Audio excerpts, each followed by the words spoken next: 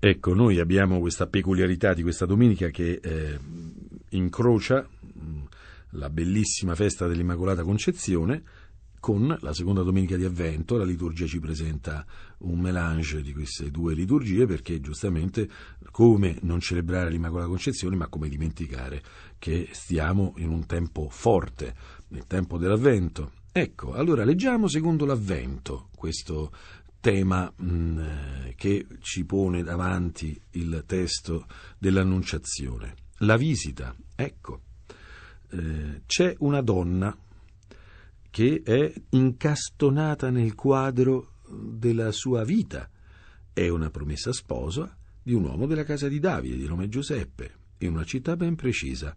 Bene, tutte queste cose possono essere lette tutte in un'altra maniera. La sua realtà è una realtà che sembrerebbe essere, da un occhio esterno, leggibile come la storia ordinaria di una giovane fanciulla che sta per sposarsi, che si preparerà con un uomo peraltro di buona discendenza ad una vita sana e buona. No, Dio ha pensato altro. Dio ha pensato tutta un'altra cosa. Ha pensato che questa è la strada, è il luogo, è il posto, è la casa dove entrerà Lui. Noi abbiamo in questo tempo dell'Avvento, che sempre ospita felicemente la festa dell'Annunciazione, come un perfetto paradigma dell'arrivo del Signore, della venuta del Signore. Infatti questa è la prima venuta del Signore, è l'ingresso e l'ingresso è in una storia ordinaria, in un luogo mh, mm, normale. Questo luogo normale non ha un di più a partire da se stesso, ma ha un di più a partire dall'iniziativa del Signore. Questo è molto importante.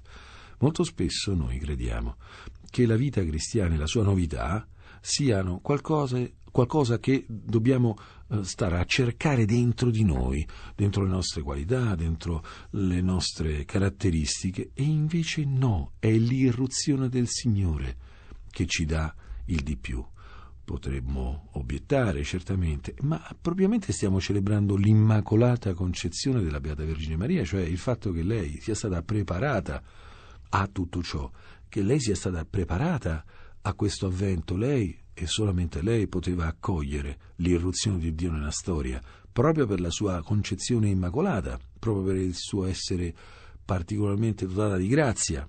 Ecco, è vero, ma in questo senso la sorpresa di Maria ci fa capire che lei prende consapevolezza della preparazione, come anche la Chiesa piano piano ha preso consapevolezza del dogma dell'Immacolata Concezione. Noi prendiamo consapevolezza dei doni che Dio ci ha fatto. Ci sono certi doni che si svegliano in noi solamente quando arriva il Signore. Scopriamo che tutto è preparato quando ci sembrava tutto invece normale. Scopriamo il, il di più, il soggiacente, proprio quando il Signore lo chiama ad essere. C'è in noi una grazia latente, c'è in noi una bellezza che solo il Signore sa tirar fuori, c'è in noi una vita che logicamente nel codice della verginità di Maria è impossibile, assolutamente. Proprio questa è la categoria della verginità di Maria, della verginità in genere. Biblicamente parlando, la verginità non è mh, mm, atteggiamento morale, etico, no, è semplicemente il, quel tempo in cui una persona ancora non è arrivata alla pienezza della femminilità, che è concepita come la maternità. Allora che succede? Questa verginità sembra una preclusione, all'irruzione della vita ci vogliono delle condizioni ben precise. No, Dio sa trarre la vita dalla verginità. Dio sa trarre la vita da qualcosa che non sappiamo di avere in noi, che è un dono di Dio, che è la nostra condizione di essere benedetti, amati, che è la nostra condizione di essere stati dall'eternità disegnati per le nostre opere. Le opere a cui Dio ci chiama sono un po' come l'opera a cui è chiamata la Beata Vergine Maria. Sono opere straordinarie, ma non possiamo guardare a noi per capirle, dobbiamo guardare a Dio. Maria guarda se stessa e vede eh, un'impossibilità, perché come dice appunto qui nel, nel testo, com'è possibile? Non conosco uomo, non posso farlo io questo qui. Questo lo fa Dio, ma lo fa in noi. Ovvero sia la festa dell'Immacolata Concezione fa presente tutta la generosità di Dio di cui ancora non conosciamo veramente fino in fondo le implicanze, la lunga preparazione per la nostra vita. Quando ci apriamo all'opera di Dio, scopriamo che possiamo generare una vita impossibile, che possiamo vivere il regno di Dio in noi, nella nostra carne. Quando ci apriamo alla sua mm, visita inaspettata, un turbamento che persino la Beata Vergine Maria vive, figuriamoci se non lo dobbiamo vivere noi, ma quando ci apriamo, ecco, nostro, la nostra identità di servi del Signore si compie e noi vediamo la sua parola in noi prendere corpo, prendere realtà. Apriamoci in questo tempo dell'avvento a essere tempio della parola di Dio, eh, luogo dove Dio opera, luogo dove Dio sa creare novità.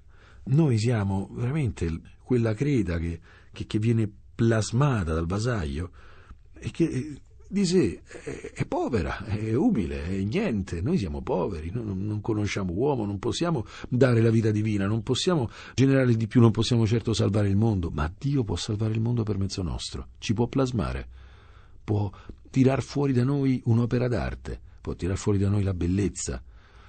In questo tempo proviamo a aprirci al fatto che quello che ci sta succedendo è un'iniziativa di Dio non dobbiamo guardare a noi stessi, ripetiamo ancora, per capire ciò che Dio deve fare in noi, perché lo deve fare Lui.